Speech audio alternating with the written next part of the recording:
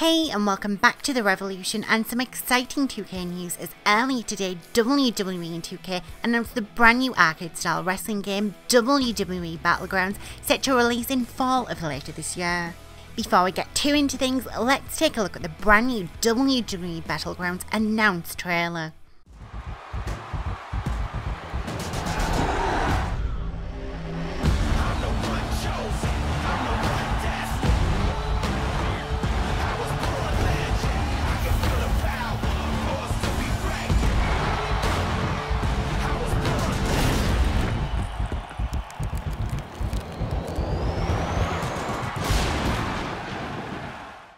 Well, I don't know about you, but WWE Battlegrounds certainly looks crazy to say the least. The game, which is developed by Saber Interactive, looks to be taking a note from the NBA Playground series, which also takes simulation style appearance and turns it right in its head, offering a brand new experience for fans.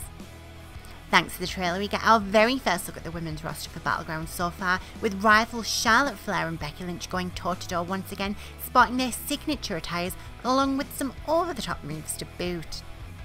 As well as Becky and Charlotte, we also got confirmation of both The Rock and John Cena, as well as Stone Cold Steve Austin, who was featured on the promotional hour for the game. As far as the gameplay goes, WWE Battlegrounds seemed to take note from the hugely popular fan favourite All Stars with a touch of NBA Playground sprinkled into the mix. Similar to that of WWE 2K20, WWE Battlegrounds will also see its very own set of unique arenas with an underground battle arena as well as a swamp arena with its very own OMG moment in a jaw-dropping moment for pure John Cena. Unfortunately, the trailer doesn't give any indication as to which console the game will be available on, but if NBA Playgrounds 2 is anything to go by, we could see ports on the PlayStation 4, Xbox One, Microsoft Windows, as well as the Nintendo Switch, which hasn't hosted a WWE game since the controversial port of WWE 2K18.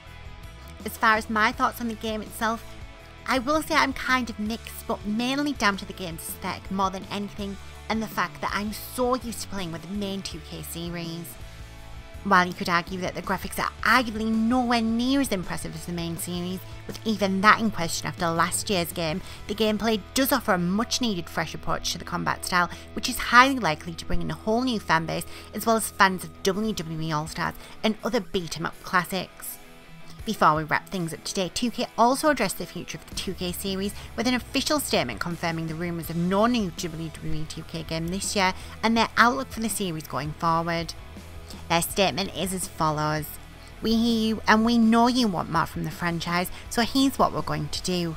We're applying what we've learned to the next WWE 2K simulation game with a renewed focus on the quality and fun. As part of that commitment, we're extending the production timeline and will not be releasing a WWE 2K simulation game in 2020.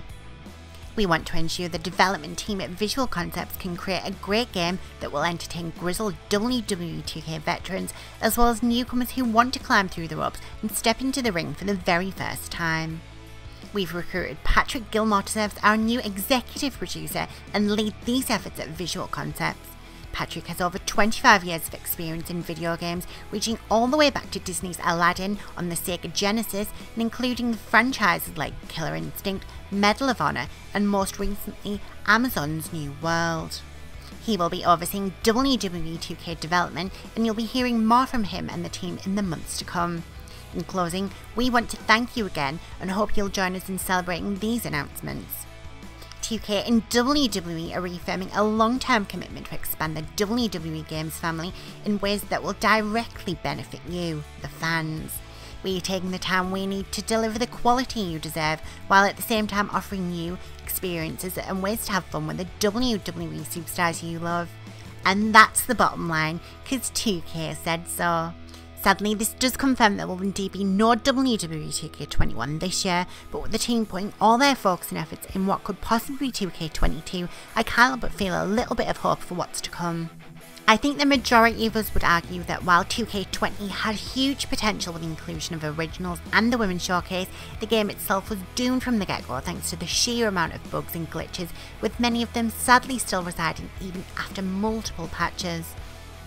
Speaking of originals, I will be putting together a short video within the coming weeks ranking the originals from my personal best to worst, as well as what I made of the originals concept as a whole. Hopefully the news of WWE Battlegrounds helps bridge the gap between now and a new simulation game from 2K because I for one felt a little lost when rumours began surfacing about a year with no WWE title in sight. To be sure you don't miss out on any of our upcoming WWE Battlegrounds content, be sure to hit that bell icon and subscribe to the channel. Don't forget you can also head on over to our official website revelleution.com where you'll find all the latest women's wrestling news and so much more. Until next time, I've been The RevELLEution, hoping you at home are managing to stay safe and sane in these testing times.